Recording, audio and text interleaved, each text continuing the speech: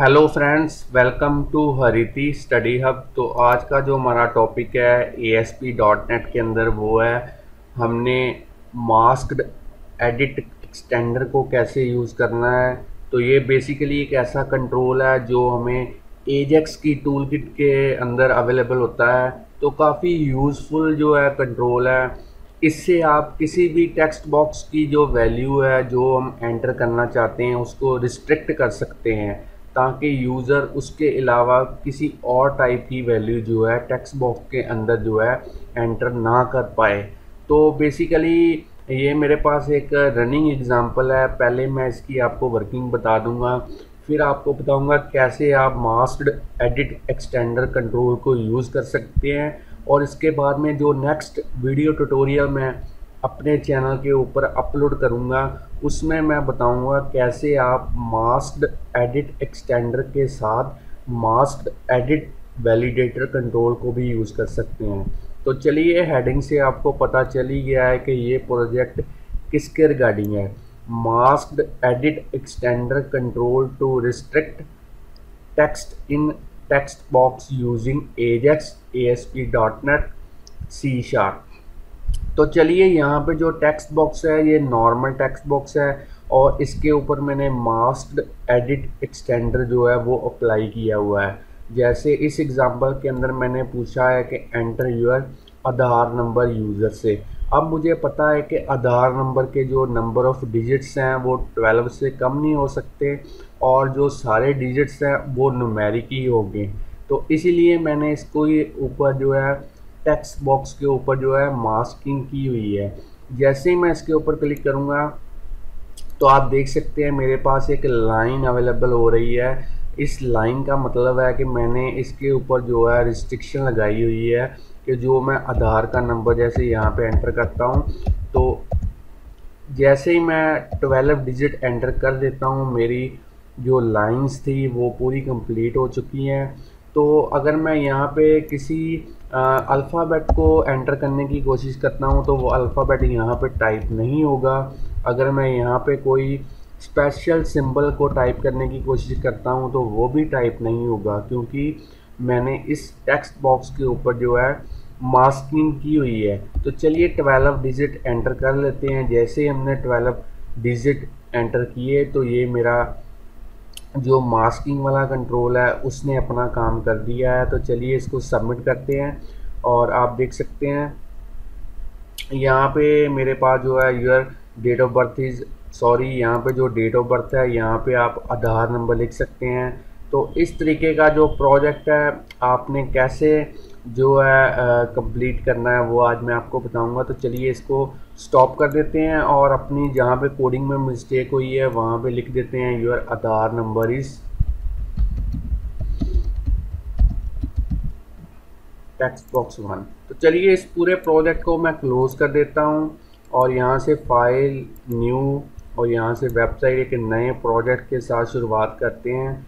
यहाँ से C sharp यहाँ से आपने जो फ्रेमवर्क यूज़ करना है वो है 4.6 या 4.5 भी यूज़ कर सकते हैं आप A S P dot net M T website और यहाँ पे आपने जो अपना प्रोजेक्ट है उसकी लोकेशन प्रोवाइड करनी है कि आपके कंप्यूटर के ऊपर जो आपका वेबसाइट है उसका सारा सोर्स कोड जो है कहाँ पे सेव हो।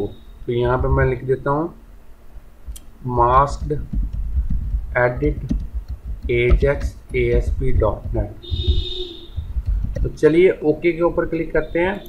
और जैसे ही मैं ओके के ऊपर क्लिक करूँगा, आप देख सकते हैं मेरा जो प्रोजेक्ट है वो क्रिएट हो चुका है सोल्यूशन एक्सप्लोरर के अंदर। तो चलिए इसके ऊपर राइट क्लिक करते हैं ऐड करते हैं एक ब्लैंक वेब फॉर्म तो यहाँ से मैं सिलेक्ट करूँगा वेब फॉर्म आप चाहें तो यहाँ पे जो वेब फॉर्म है, इसका नेम असाइन कर सकते हैं, मगर मैं डिफ़ॉल्ट नेम ही रहने देता हूँ और इसको ऐड कर देता हूँ अपने प्रोजेक्ट के अंदर। तो आप देख सकते हैं स्टूडेंट फ्रेंड्स जो मेरा प्रोजेक्ट का वेब फॉर्म है, वो क्रिएट हो चुका है। तो चलिए इसके डिज़ाइन व्यू के अंदर चलते हैं और यहाँ पे सबसे पहला कंट्रोल जो मैं यूज़ करूँगा वो है लेबल कंट्रोल तो टूल बॉक्स में से लेबल कंट्रोल के ऊपर डबल क्लिक करते हैं। तो डबल क्लिक करने से जो लेबल है, वो मेरा वेब फॉर्म के ऊपर आ चुका है। तो चलिए इसकी जो प्रॉपर्टीज़ हैं, वो उसके अंदर चेंजेस कर लेते हैं। तो सबसे पहली जो प्रॉपर्टी है, वो है टेक्स्ट प्रॉपर्टी तो यहाँ पे मैं लिख देता हूँ हरिति स्टडी हब तो ये टेक्स्ट जो है, मैं जस्ट चैनल की प्रमोशन के लिए यूज़ कर रहा हूँ.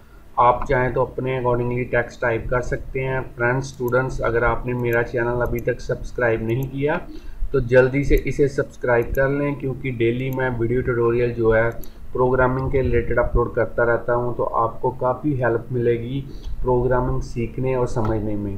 तो चलिए टूल बॉक्स में से एक और लेबल इंसर्ट करते हैं प्रोजेक्ट की हेडिंग बताने के लिए। तो यहाँ पे मैं लिख ले टेक्स्ट के अंदर मैं लिख देता हूँ रिस्ट्रिक्ट और mask the text box using mask edit extender in P dot net तो चलिए अब मैं आपको बता दूँ कि बेसिकली जो मास्क एडिट एक्सटेंडर है, वो क्या वर्क करता है? तो यहाँ पे आप इसकी डेफिनेशन देख सकते हैं। Mask edit extender A S P dot AJAX का एक एक्सटेंडर कंट्रोल है, जिसको हम टेक्स्ट बॉक्स के साथ अटैच कर सकते हैं, ताकि हम उस जो भी टेक्स्ट बॉक्स के अंदर टेक्स्ट को टाइप करना है, उसको रिस्ट्रिक्ट कर सकें कि किस तरीके की वैल्यू हम चाहते हैं कि यूज़र एंटर कर पाए टेक्स्ट बॉक्स के अंदर। तो मास्क एडिट अप्लाई एक तरह का मास्क अप्लाई करता है इनपुट के ऊपर, जो हमें परमिशन देती है यूज़र को कि वो केवल पर्टिकुलर टाइप के जो करेक्टर है, उसी को एंटर कर पाए। तो ये प्रॉपर्टीज़ हैं हमारे पास एजेक्स टूल किट के अंदर, जो मास्क एडिट एक्सटेंडर है। सबसे पहले हमने मास्किंग करनी है। हर करेक्टर जिसको हम नुमेरिक बनाना चाहते हैं, उसके लिए हम मास्क के अंदर नाइन यूज़ करेंगे। तो यहाँ पे आप देख सकते हैं, मैंने ट्वेल्व नाइन्स यूज़ किए हैं। इसका मतलब हर एक करेक्टर के लिए नाइन कहने का मतलब यहाँ पे एक नुमेरिक वैल्यू यहाँ पे एक नुमेरिक वैल्यू मतलब बारह करेक्टर से एंटर कर सकता है यूज़र टेक्स्ट बॉक्स के अंदर। और वो ट्वेल्व जो करेक्टर होंगे, वो नुमेरिक ही होंगे। क्योंकि मैंने मास्क टाइप जो है वो नंबर यूज़ करना है। तो आप चाहें तो मैसेज वैलिडेटर टिप को भी ट्रू कर सकते हैं एरर टूल टिप को भी इनेबल कर सकते हैं और टारगेट कंट्रोल हमने जिसके ऊपर, जिस टेक्स्ट के ऊपर जो है टेक्स्ट बॉक्स के ऊपर ये अप्लाई करना है। तो चलिए इसको कंटिन्यू करते हैं अपने प्रोजेक्ट को। तो यहाँ से मैं फोर कलर इसका चेंज कर देता हूँ। अब हम यहाँ पे एक टेबल इंसर्ट करते हैं। यहाँ से टेबल इंसर्ट करेंगे। Two rows two columns okay के ऊपर क्लिक करेंगे। तो चलिए इसको थोड़ा सा रिसाइज कर देते हैं अपने टेबल को। यहाँ पे मैं लिख देता हूँ योर आधार नंबर तो चलिए यहाँ पे एक टेक्स्ट बॉक्स को एंटर करते हैं। तो यहाँ पे मैं टेक्स्ट बॉक्स को इंसर्ट कर देता हूँ अपने वेब फॉर्म के ऊपर। अब हमने यहाँ पे एक बटन यूज़ करना है तो बटन यूज़ कर लेते हैं यहाँ पे। तो बटन का जो टेक्स्ट प्रॉपर्टी है, उसके अंदर मैं लिख देता हूँ सबमिट आप चाहें तो जो बैकग्राउंड कलर है इसका, वो भी आप चेंज कर सकते हैं यहाँ से। अब हम पूरे इस टेबल को सिलेक्ट करेंगे और यहाँ से आप उसका बैकग्राउंड कलर चेंज कर सकते हैं। तो इसकी प्रॉपर्टीज़ के अंदर बॉर्डर प्रॉपर्टी है, उसके अंदर आप वन एंटर करके इसकी जो लाइन्स हैं उनको ठीक कर सकते हैं। अब हमने यहाँ पे एक लेबल यूज़ करना है। लास्ट में जब हम सबमिट करवाएँगे, तब हम आधार नंबर को यहाँ पे डिस्प्ले करवाएँगे। तो इसकी टेक्स्ट प्रॉपर्टी को अभी के लिए हम ब्लैंक कर देते हैं। चलिए यहाँ पे हमने अब मास्क एडिट एक्सटेंडर को कैसे यूज़ करना है। तो पहले मैं यहाँ पे आपको बता दूँ, मैं जो टूल किट यूज़ कर रहा हूँ एजेक्स की वो है फिफ्टीन पॉइंट वन तो जब भी आप एजेक्स को यूज़ करें तो सबसे पहला जो कंट्रोल आपने यूज़ करना है वो है स्क्रिप्ट मैनेजर तो स्क्रिप्ट मैनेजर से आपकी जो एजेक्स के रिलेटेड फाइल्स होंगी, जो भी क्लासेस रिक्वायर्ड होंगी, वो सारी अवेलेबल हो जाएँगी। तो स्क्रिप्ट मैनेजर को सबसे पहले यूज़ करें। उसके बाद में हमने जो कंट्रोल यूज़ करना है आज, वो ये वाला कंट्रोल है। आपको मैं एक बार दिखा दूँ। मास्क एडिट एक्सटेंडर उसके बाद कल जो वीडियो ट्यूटोरियल में अपलोड करूँगा, वो होगा मास्क एडिट वैलिडेटर चलिए इसको अप्लाई कैसे करना है, यहाँ पे क्लिक कीजिए। और यहाँ से आप उसको देख सकते हैं मास्क एडिट एक्सटेंडर को। और इसके ओके के ऊपर क्लिक कीजिए।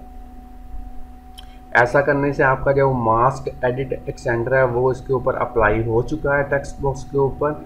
अब हमने जो है उसके एट्रीब्यूट्स के अंदर चेंजेस करनी है सोर्स कोड के अंदर जाइए। यहाँ पे आप देख सकते हैं मेरा मास्क एडिट एक्सटेंडर जो है विजिबल हो चुका है। तो यहाँ पे आपने जो सेंचुरी लिखा हुआ है, इसको डिलीट करके यहाँ तक डिलीट कर देना है लास्ट तक, यहाँ तक। टारगेट कंट्रोल तक इसको डिलीट कर देना है। और यहाँ पे अपनी प्रॉपर्टीज़ के बारे में लिखना है। पहले मास्क लिखेंगे और इसके अंदर जो है ट्वेल्व नाइन नाइन नाइन लिखेंगे। Five six seven eight nine ten eleven twelve तो चलिए मास्क टाइप जो कर देते हैं।